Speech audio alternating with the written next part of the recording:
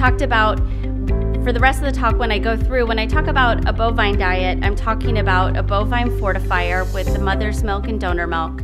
And again, the all human milk diet is a human milk fortifier with mother's milk and donor milk. So here are your options currently if you want to use an actual fortifier. And I know we have some international attendees.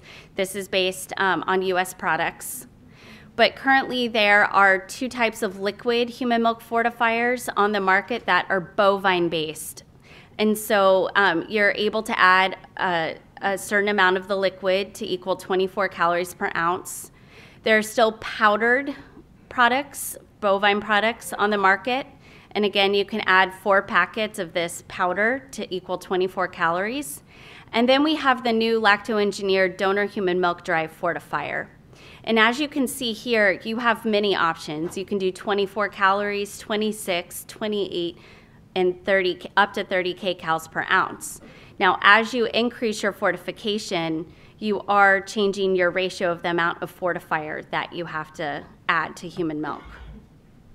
And this, I'm not going to go through all of this, but as a quick comparison, mainly focusing on protein levels. I think these days, uh, in general, neonatologists focus on protein, which is a good thing.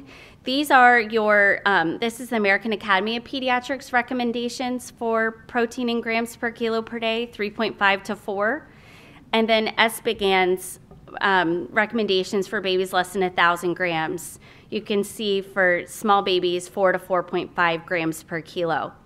And so um, I think it's the only slide I have brand names on, but I'm using all brand names. So if you're comparing breast milk with the Similac bovine powder product to 24 calories, that's going to give you 29, or excuse me, 2.9 grams per kilo per day of protein.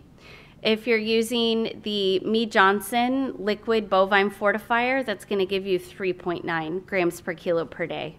Similac makes a liquid bovine fortifier, and that'll give you 3.6.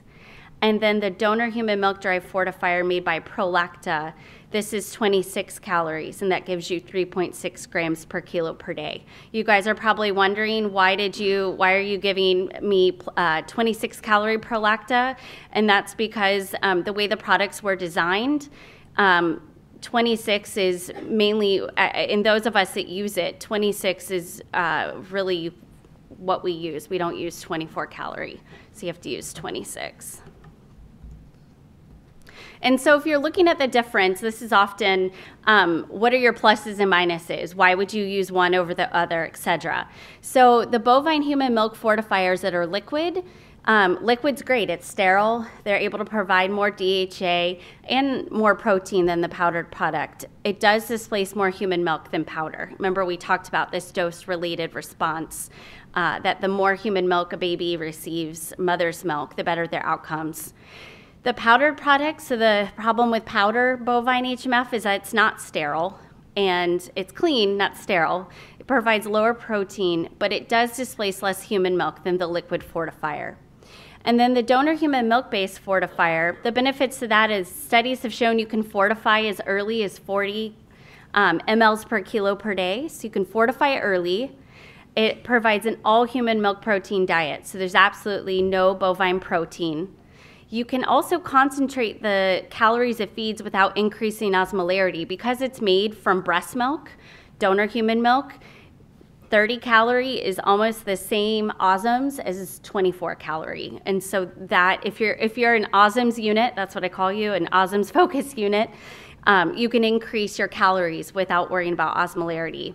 Studies have recently shown that um, it decreases the morbidity associated with prematurity and we'll talk about those in a minute, but NEC mortality, sepsis, BPD, and ROP.